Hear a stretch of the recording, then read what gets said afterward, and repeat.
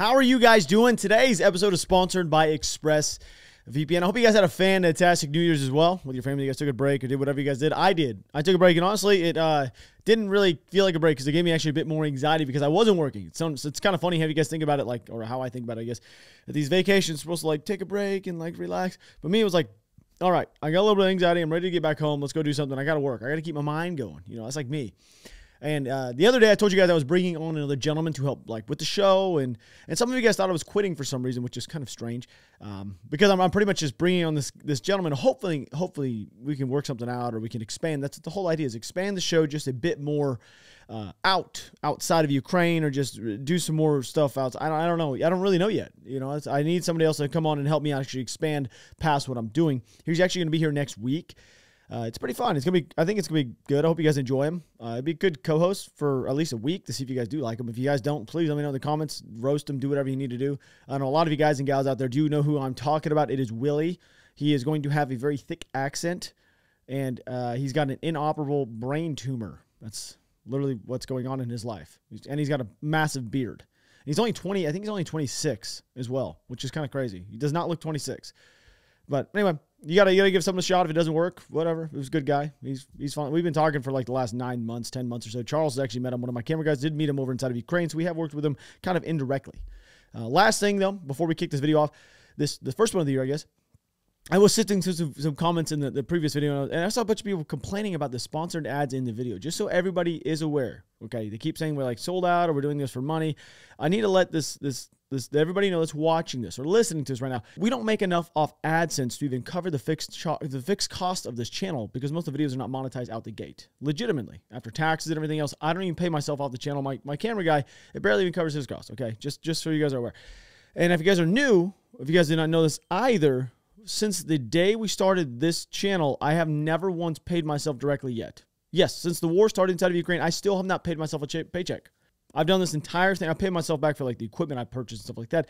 But other than that, I have not touched and have actually paid myself one time. So stating that this thing is a money grab or money hungry is absolutely insane. We started making these videos. Uh, I, I, we had no idea how large it would become and whatnot. I had no idea. I'm sure at some point I'm going to pay myself from the accounts, but at this point the vision is to grow it and to to not siphon all the money out. So I'm putting it back into it. So I haven't even paid myself yet. So calm yourself. So bringing on the host and flying him over. I mean, just for that one week, it's going to cost me like seven grand. This stuff's not cheap. Think about that. So if you guys freak out, calm down. See those random comments with nothing's changed. The money's got to him. He's just selling. No, it hasn't. I got to say thank you to everybody on the Patreon side of thing for being the real MVPs, helping with the cost of this channel. I sincerely do appreciate every single one of you. It goes farther than you guys do realize. So, off the tangent there. I know some of you guys are probably shocked. You know Charles, did you know? My camera guy actually knows this, bro. I still have not paid myself one time. Charles knows that. Not one single time from this channel. And we still do this every almost every day. Oh, my gosh. And then we, we are experiencing a little bit of a, a winter lull I am going to say that. That is a real thing, and it has to do a lot with with the soupy conditions we're seeing in certain areas. But here at the end of the week, it's going to freeze back over. It's going to be pretty. It's actually I got a lot of stuff I'm going to show you in the mapping. Got some cool videos I'm going to show you guys as well from certain areas. It's it's pretty brutal. It's not to lie. It's pretty brutal in Bakhmut. So while you guys were enjoying your nice, warm, comfortable holidays, enjoying drinking and whatnot, those boys were out there hammering down in Bakhmut. I'm to tell you guys that right now. And since we've left, there's been some big things. Uh, it's actually happened over in Ukraine. And the biggest thing that's happened was just about a day or so ago. And that was a very large chunk of Russians have actually been eliminated by a HIMARS strike. And a very large chunk. We're not going to know the entire uh, I guess, numbers per se, because it's going to be on the Russian side of things. It's going to be kind of skewed. Now, the footage that is currently being overlaid is of the buildings, or what I guess what is left of the buildings that was actually targeted yesterday inside of Makiivka. Okay, this is going to be on the southern side of the more southern southeast side of the country. I'll show you guys here in a little bit. But right now, the Russian Ministry of Defense is claiming that only 63 soldiers thus far have been KIA from this one attack, which I believe they've also stated this that like two of the six HIMARS, uh, the rounds that were actually shot in there, that were actually intercepted. So four of them clearly hit the targets. So they shot six, they intercepted two, which is not very good numbers when you guys look at like the Ukrainians are claiming that they're hitting about 85% of the Russian rockets shot in, or missiles, I guess you'd say. So I, I, I, mean, the interception does work a little bit. They did take down at least two of them, or they're claiming they have. Now, if you guys were curious of just how a, a, strike like this could come to light or how such a mistake could actually be made by the Russians. Can you think about it? You're talking about OPSEC, operational security, like little like stuff like this. It was a company-sized element inside of a building. Now, how how does one make this kind of mistake? It was larger than a company size, I guess you would say, inside of a building, all held up, and they're they're they're all using their phones. And this is what's pretty much happened. The Ukrainians had noticed a significant activity inside of this one condensed area of, of certain mobile phones that they do keep tabs on, I guess. And they're watching and, and whatnot. And it ended up being the demise that's completely sealed the fate of this entire building as a whole. This is what we call baptism by HIMARS, is the best way to put it. Uh, the New Year's videos that I keep seeing over and over and over again are like a top level cringe type stuff that's been coming out of, of Russia, like like coming in out of the, the New Year's. I know I didn't get this, I didn't make any videos over the New Year's and stuff, so we're gonna look at some of this stuff. It's like Hunger Game esque, okay, Hunger Games type stuff that is just you're like, oh God, what am I what am I watching? Look at the cheesy smiles on everybody's faces. Look at the, the background, everybody's dancing and live. You're like, what in the world is going on here? This is weird.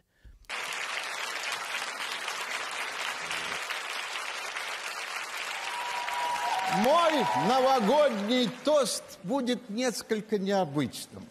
В уходящем году Запад пытался развалить Россию, даже не подумав о том, что в строении мира Россия – это несущая конструкция.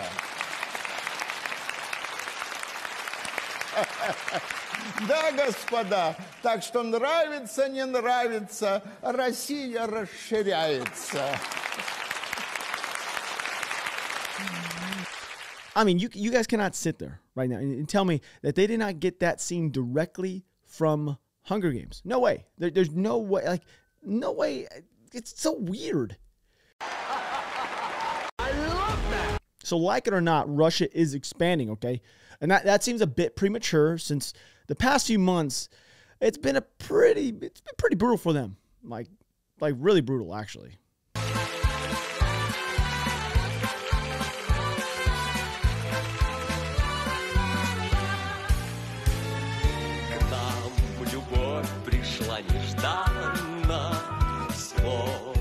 песенный мотив. Okay, we're gonna that, that that is enough of that. Pretty much, they just sing for the next minutes or so, and then like dance, kind of like like just really awkwardly, and they're all smiling. They're all everybody so happy. You look around the, the crowd, and it's just this. It's just the same thing. It's just yeah. It's like it's almost looks like North Korea. Like it, it, it really is. And and Putin was also struggling to get through the New Year's speech. By the way, discussing like how this whole thing, this whole new war started against them. It, he's been he was just struggling. Just listen to him. He's, he's not he's not doing too well. Дорогие друзья, с 2014 года после крымских событий Россия живет в условиях санкций. Но в этом году нам была объявлена настоящая санкционная война.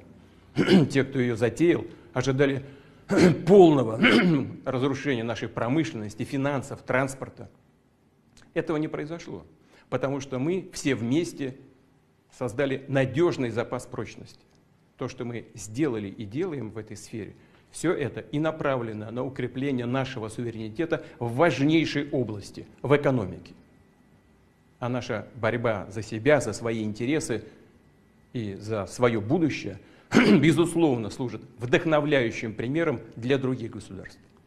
Now, I don't really know who he is trying to impress by stating that they're just inspiring other nations. I did read this yesterday. Okay, I did read this yesterday. Apparently, Brazil's considering working with Russians now. And it has to do with something like they're, they're purchasing, or Brazil is purchasing a certain amount of fertilizer, or Russia's buying fertilizer from Brazil, something like that. I couldn't remember. I didn't really read too much into it. I was like, oh my God what, what is going on? It's, it's almost like we're continuing to hit that rewind button just a tad bit every single week, seeing ourselves from some type of like Twilight Zone, just over and over, let's repeating itself. You know what I mean? Like you would assume uh, that he would reshoot that entire piece since he was struggling to get words out without like coughing the entire. Like actually, you know what? That that means that if they if they use that piece, if that was the best clip that they had, then there's no way that they would have just taken that one shot, right? There's no way. There's no way he said, you know what, we're done. He talked a few times and it's good. It's good. That must have been like the the best one they had. And he must have been really struggling to, for that one to even see the light of day. So we all know ExpressVPN protects your privacy and security online, right?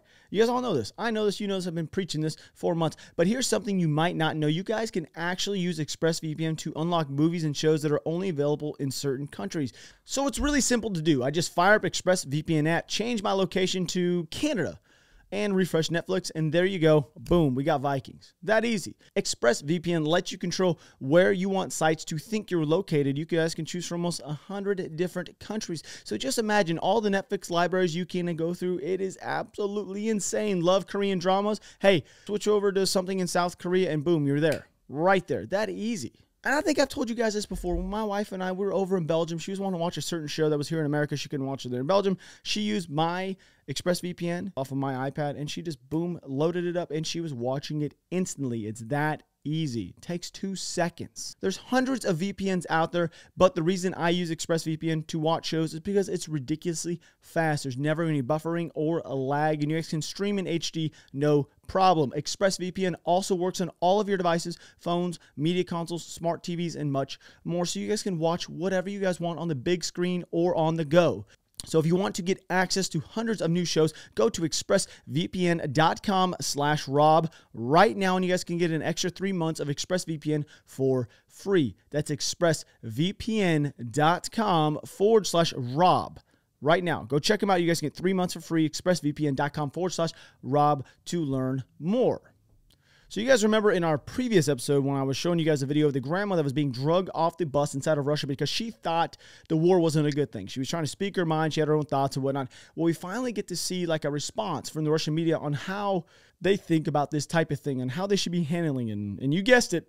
You can guess it. Indoctoring their kids at a young age so they don't have to have these type of thoughts as they grow up. Надо объяснять. То есть Это с пойти самого начала. от противного, Да. чтобы не возникало проблем, как реагировать на э, жертву украинской пропаганды, значит, понимать, что руки распускать не надо, надо добиться того, Чтобы этих жертв не было. Да, чтобы Да. этих жертв не было, чтобы преобладало вот какое-то действительно такое И вот, зацепившись слова Нины Александровны про начинать с детского сада, мы вам сейчас приведем несколько примеров, как либо младшим школьникам, либо и вовсе дошкольникам сейчас рассказывают и про то, что происходит э, на спе- специальной военной операции, ну и какие-то патриотические мероприятия, опять же, на эту тему с этим связанные, проводят.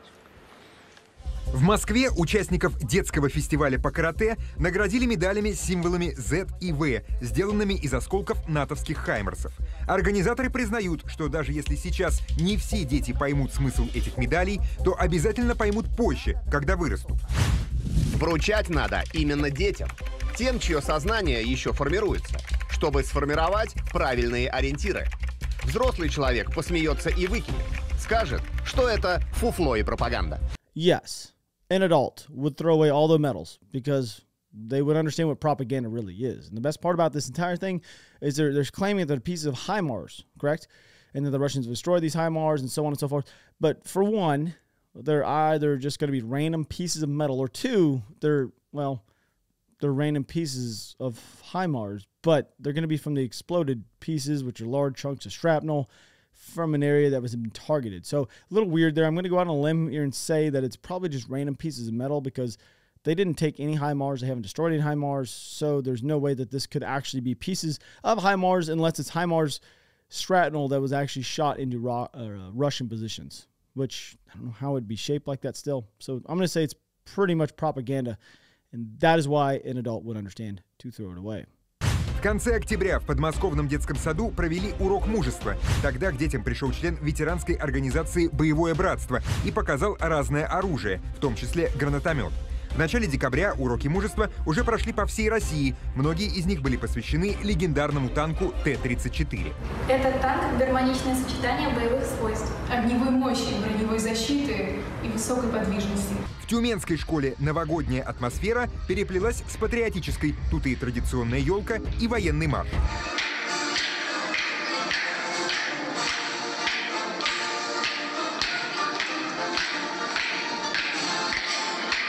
У Минпросвещения другое предложение – наносить изображения с героями как спецоперации, так и Великой Отечественной на фасады школьных зданий. Начать предлагают с тех школ, что и так нуждаются в капремонте. So this this kind of thing right here, it reminds me of something else, like something so different from from far away, like a long time ago. When the National Socialist German Workers' Party assumed control of Germany, it immediately set out to spread its influence into every aspect of German society. And the lives of German children were no exception. Ah, yes. We all remember that. Stardom at a young age, right? That we've never seen this before. And the vision is so clear now on, on the end goal. What is the end goal that the Russians have in regards to either their, their views of the world or just Ukraine for that matter? Like the older people who are inside of control want the USSR days back. Like we all know this. And I, I personally can't fathom why they would want this because it was a failed state. It, it doesn't really make any sense to me. It really doesn't. But you know what?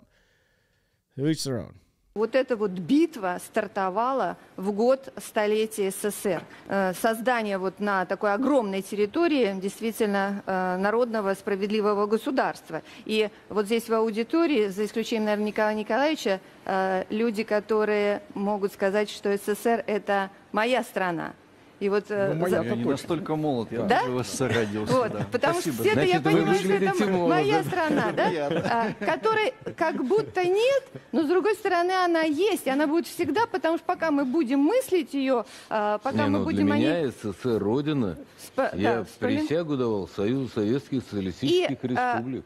Важно, что идет э, э, сейчас э, период понимания тех вот э, и осмысления тех ошибок и проблем, которые были заложены в этом проекте, которые мы не, уда- не смогли преодолеть. И сейчас мы их переживаем заново, с кровью, с болью, со слезами пытаемся преодолеть.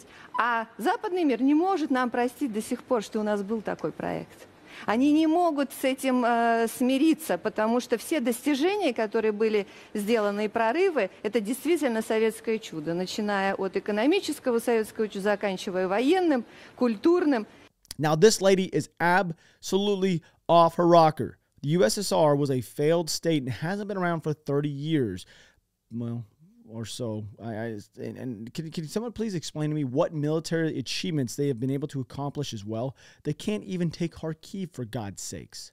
She is spitting out some some North Korean type stuff right now, claiming that they're about to take over the entire world. Like what? eh, This is one of the weirdest pieces and, and biggest propaganda things I've, I've seen.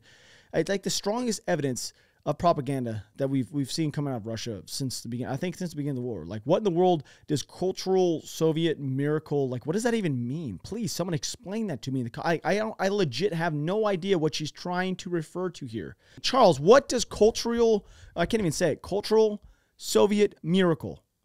Вообще, мне кажется, что... Я сейчас скажу фразу, которую меня будут И с потом победой, многие, конечно. многие пинать. Но вообще жизнь сильно переоценена. А смерть? к- Какой смысл? Зачем бояться того, что неизбежно? Нет, они не боятся, Тем более, поэтому они ну, там и находятся. Ну, мы же в рай попадем. То есть поэтому ну, смерть – это окончание одного земного пути и начало другого. Но бояться этого, а исходя из этого, чтобы это влияло на... This is also fairly i- ironic coming from the guy who is sitting inside of his warm office telling all the men who are fighting, don't worry, don't fear death. I'm here inside my office. You guys get out there and just get at it. Especially coming to my guy that's never, he's never even served. And he's like telling these guys, get out there. You can do it, boys. I've got faith in you. I was there once. Not really. Because if you guys are wondering, like, it's stating that life is overrated. You don't have to worry to die for your cause, and you will just go to heaven. And just, just take his word for it. That's all you got to trust in him. He knows best. Вот я вам серьезно говорю, огромное количество э, школьников и студентов очень плохо представляют себе карту России и карту мира, а также очень плохо представляют себе, как эта карта менялась в ходе исторических преобразований, что на самом деле закладывает в них неправильное представление Так, о перспективах. Вот э, на простейшее предложение. Во-первых, не издавать карты, на которых регионы России обозначены разным цветом. Друзья мои, вы таким образом закладываете мысль о том, что это может развалиться. Я вам серьезно говорю. Да. Тут символический ряд очень важно прорабатывать. Второе, чтобы не было вопросов, а что мы делаем на Украине, я вот лично очень советую. э, Попытаться найти совмещение политической, географической и исторической карт. Когда вы издаете большую карту, на которой вот современная Россия, а вот границы Советского Союза, а вот границы Российской империи, а вот границы нашего влияния, Ближний Восток, там, скажем, какие-нибудь острова и так далее. Тогда с детства будет понятно, Почему у нас могут быть претензии на влияние на этих землях? А когда детям начинают говорить, вот это наше государство, и оно раздроблено еще, так сказать, на 100 частей, а вот это другие государства, у них совершенно другая символическая картинка. Сергей да, это частная вещь, но это важно. А где заканчивается граница России? Нигде. Ну это, это вообще, а как бы, так сказать... Не, Владимир Владимирович четко сказал. Так- Нигде. Хорошо, тогда давайте, э, тогда давайте, так сказать, будем делать глобус России. Вот, вот это правильная мысль. Now the globe of Russia. That is a that's an interesting take. This has to be one of the biggest pieces of proof of the amount of influence they are trying to inflict on their youth. I did not start off this episode thinking we were going to be discussing the possibility of the Russians seriously making their own version of Hitler's youth, like straight indoctrinating these kids into thinking a certain way. And, and I'm I'm going to say this once again. As I said earlier, they cannot even take Kharkiv, which is in Ukraine, a smaller, weaker nation that somehow the Russians are going to have global influence, and yet they can't even beat like a nation that is sitting right next to them, not across the other side of the, the world, past many oceans. like, you know what I mean? Like bodies of water, I guess, not many oceans, but bodies of water. Like, you really think you're going to get, you can't even get past Ukraine, so you're going to, oh, okay, gotta give, my God. Come on now.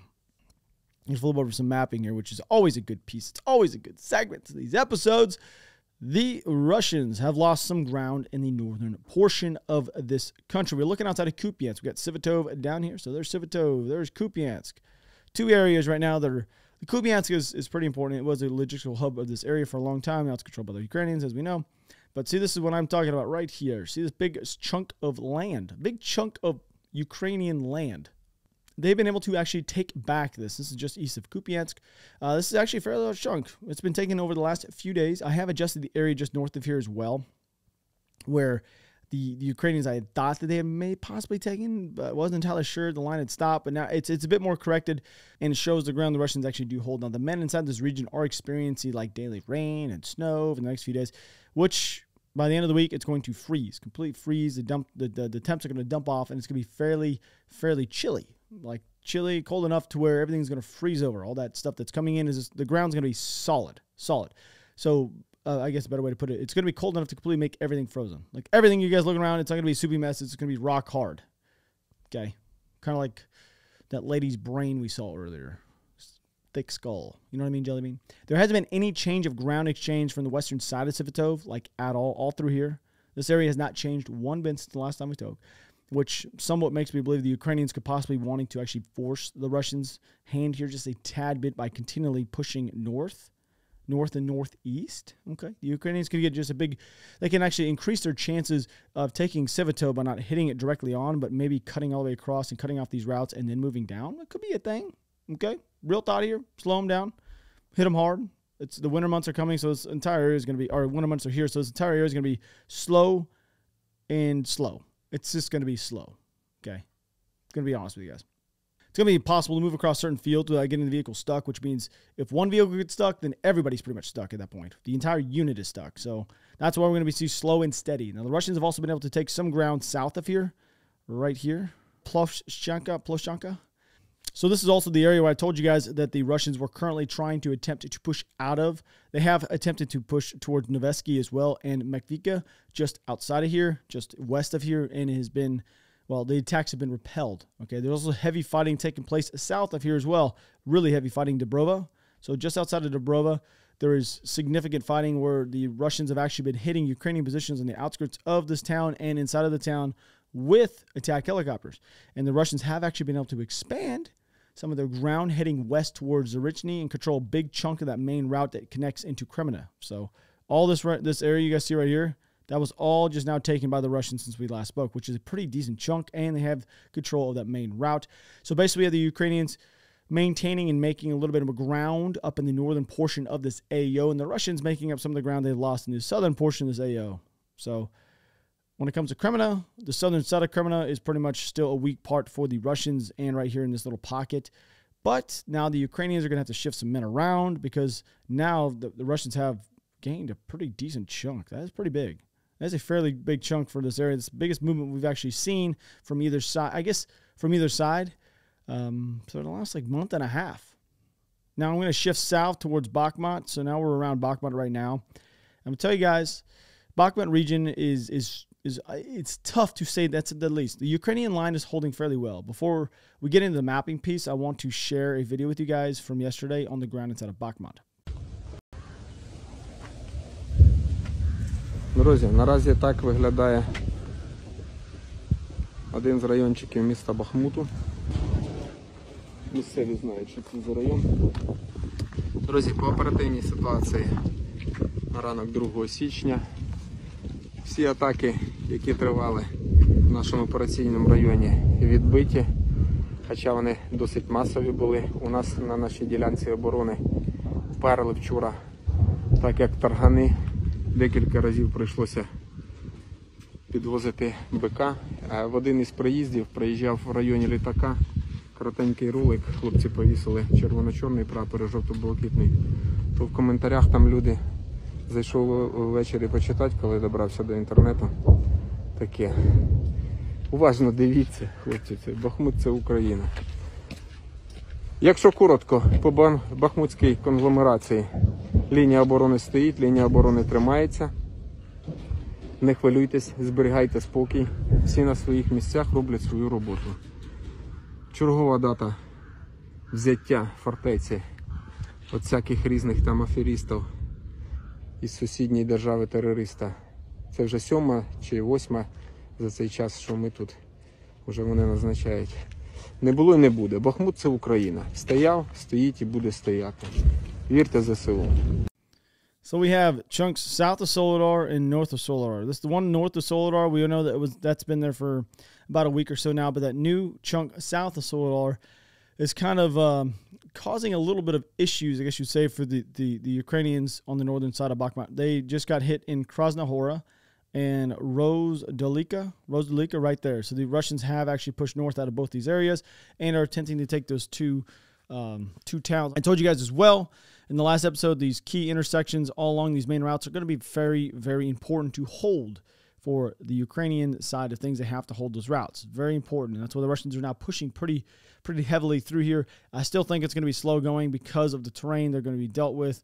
That getting to where they are now was very difficult, extremely difficult, but getting to where they're wanting to go, it's going to cost them a bit of their men's lives, to be honest with you guys. Now, the Russians have been able to break also south of the city, Opytne, which is going to be right here. You guys see this big chunk right there? And they've also actually added this as well. So the Russians have made a little bit of advancements, but the one on the southern side of the city is, is fairly important because this is the area that was extremely fortified. And it, I'm gonna, I'm gonna call it on the outskirts of Bakhmut. It's not Bakhmut proper just yet, but it is one of those little, I guess, suburbs as we put it here. The fighting is extremely heavy here, like extremely heavy on the southern side. And from that videos you guys did see, they are hitting the Russians. You can hear it in the background, but it's very basically these artillery duels coming out of these northern side of Bakhmut, going down on top of the Russians as they're trying to push through. So this whole area is just absolutely brutal and very, very intense. There's been really no change along this side. The Russians are attempting to push north out of here as well, all through here, and they're trying to gain access to this main route again. This one right there. So, which is another key. Remember these two routes? These are the main routes that they need to hold. The Ukrainians need to hold these main routes through here. But other than that, when you guys are talking about Bakhmut, that's pretty much what has been what's been going on. This is going to be one of the the most important, I guess you'd say, pieces of the Ukrainian war that is going on. And I think if they can hold it, I think they're going to inflict so much damage to the Russians. It's going to be very difficult for them to come back. And a lot of people probably don't believe me, but I do believe this. If Bakhmut can hold and the, the Ukrainians can inflict as much damage as they possibly can on them, it's going to be extremely, extremely difficult for the Russians to come back. There's been no change inside of Kherson, no change south of here. Just south of here is actually where that HIMARS strike was, which is kind of crazy if you guys think about it because they hit them all the way over there, which means if you